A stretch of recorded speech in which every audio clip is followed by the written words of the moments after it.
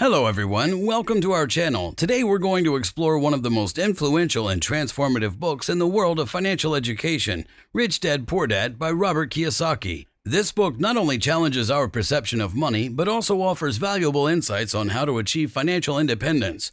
If you're seeking financial freedom, want to learn to make better financial decisions, or simply want to understand the principles that can change your financial life forever, then please like and subscribe to our channel so you won't miss a thing. We'll delve into the most important lessons from this best selling book from the different financial philosophies of a rich dad and a poor dad to the fundamental principles of financial education that can transform your relationship with money. This book explores concepts of financial education and mindset regarding money. It describes two different parental models, the rich dad and the poor dad, to illustrate differences in financial and mental approaches to money. Here are some of the key differences between these two models. 1. Mindset toward work. Rich Dad. The rich dad believes that work should be a way to make money work for you, not the other way around. He values entrepreneurship, investments, and creating assets that generate passive income. Poor Dad. The poor dad believes that you should work hard for a secure paycheck and often focuses on finding stable, well benefited employment. He values financial security over financial freedom. 2. Financial education. Rich Dad. The rich dad emphasizes the importance of learning about personal finance, investments, and how to make money grow. He seeks opportunities to increase his financial intelligence. Poor dad. The poor dad tends to believe that formal education is sufficient and that earning a degree and finding stable employment is the path to financial success.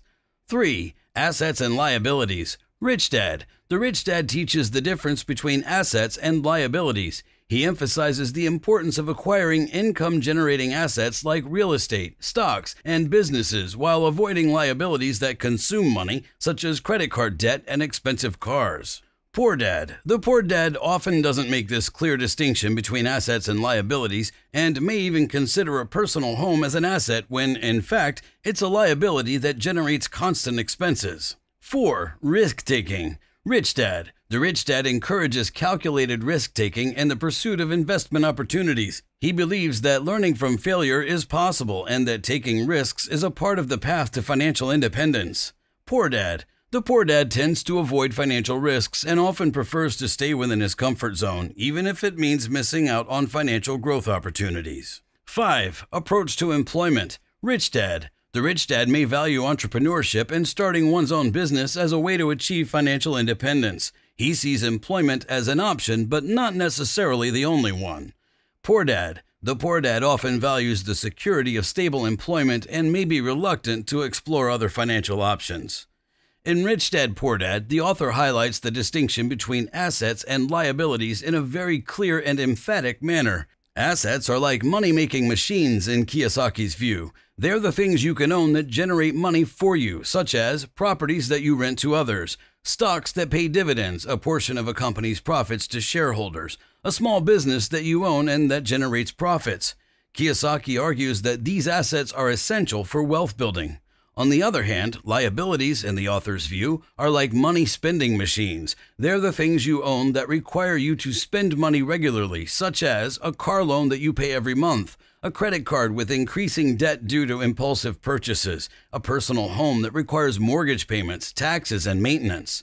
The author emphasizes that the importance of understanding this difference is that to build wealth, it's crucial to acquire more assets than liabilities. According to Kiyosaki, having more assets means that you're generating money that can be used to cover your expenses and increase your wealth. However, having too many liabilities can drain your money and make it difficult to build wealth, in his view. Investing in financial education. The book underscores the importance of investing in yourself, particularly in the area of financial education. Robert Kiyosaki argues that financial education is the foundation of making smart financial decisions. The lesson here is that learning about how money works, how to invest, and how to generate passive income is a valuable investment that can pay dividends throughout life. Investing in assets. The author emphasizes that the key to wealth building is acquiring income generating assets, as mentioned earlier. He highlights that as you accumulate these assets, your money works for you, generating passive income that can cover your expenses and create wealth. Real estate as a solid asset. Kiyosaki has a special preference for real estate investments. He argues that buying properties for renting is an effective way to create income generating assets. The lesson here is that the real estate market can be a stable way to build wealth over time. Entrepreneurship and business ownership. The author encourages the pursuit of entrepreneurship, either through starting your own business or investing in businesses. He believes that entrepreneurship offers opportunities to create income generating assets and increase your financial independence. Avoiding bad debts. The book also warns against bad debts, such as excessive use of credit cards for purchasing liabilities like consumer items. The lesson is that it's important to avoid debts that consume income and to seek smart ways to finance investments in income generating assets. Thinking differently. An underlying lesson throughout the book is the need to think differently about money and investments. Kiyosaki challenges traditional financial norms and encourages people to be more creative and bold in their financial approaches. Certainly, here's a conclusion and a call to action based on the book Rich Dad Poor Dad by Robert Kiyosaki. Robert Kiyosaki's book Rich Dad Poor Dad is a transformative journey that leads us to rethink our relationship with money and how we approach wealth building. Some fundamental lessons we've learned are 1. Financial education is the foundation. Financial education is the first step toward a solid financial life. Learning how money works and how to make it work for us is essential. 2. Difference between assets and liabilities. Understanding the distinction between assets which generate income and liabilities which consume income is crucial. Prioritizing the acquisition of assets is essential for wealth building. 3. Investing in income generating assets.